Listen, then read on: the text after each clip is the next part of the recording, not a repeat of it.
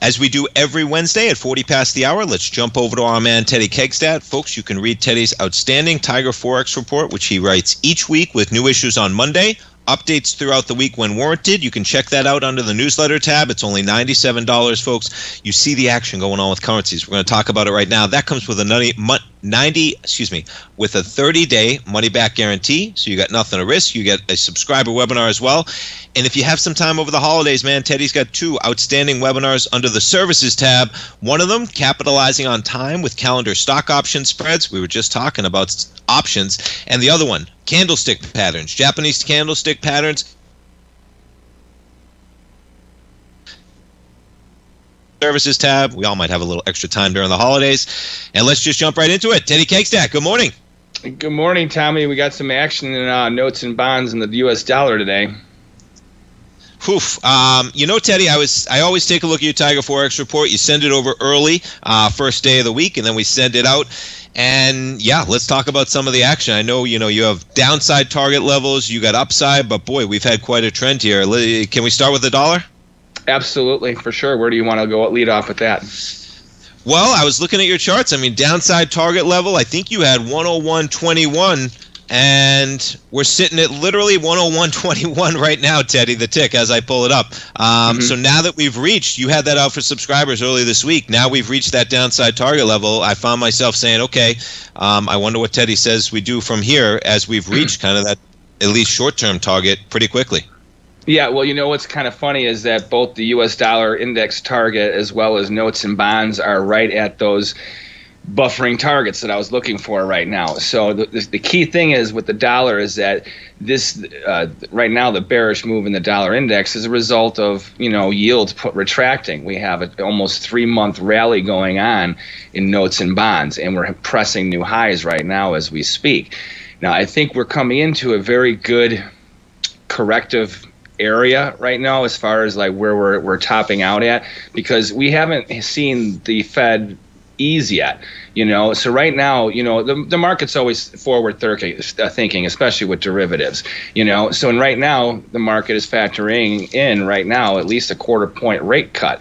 Well, they haven't even solidified the fact that they're pausing yet. You know, so I, I think that right now you got to be very careful with your longs right now when it comes to notes and bonds or your shorts against the dollar because how much more can we stretch this this this move this trend right now without actual fundamental action you know so and especially yeah. if any economic numbers come in that are inflationary you know cool. so right. so i think you have to be very cautious right now if you've been riding the trend short the dollar and long uh, notes and bonds now is a good time to tighten up your stops because if even if we do continue to push the trend i would think you're going to expect to get a real choppy trade right now without any fundamental confirmation right now it's a great point, man, because I found myself thinking along some similar lines. At least I keep seeing the yield on the 10 year, and I think we're under 3.85% right now. And I found mm-hmm. myself saying, okay, I, you know, where is my risk reward, right, on either side? And I said, can we really drop to like three five or three and a quarter? Of course we could.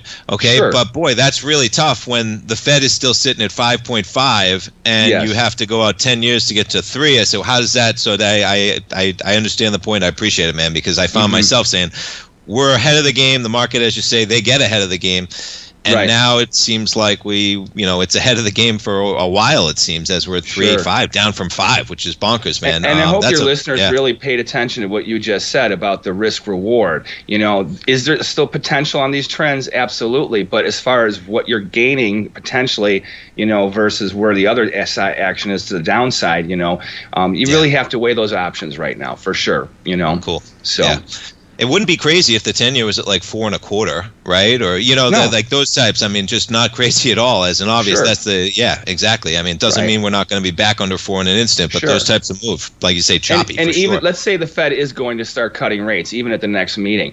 We still should have some sort of pullback and, and a raising in yields. Markets don't just go in one direction, you know. Right. So this trend is pretty stretched. It's pretty steep, yeah.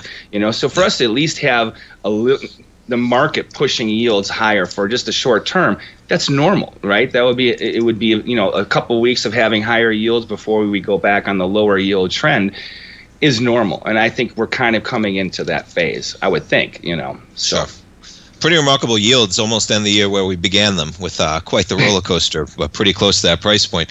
Uh, do you want to jump to maybe the yen? I want to get to crude yes. as well, but maybe the yen because we got some action, sure. of course, and that that's driving. We got gold with some action. We're, we're sitting at 142 and change. What do you think about the yen as we're just chopping around a little bit so far this week?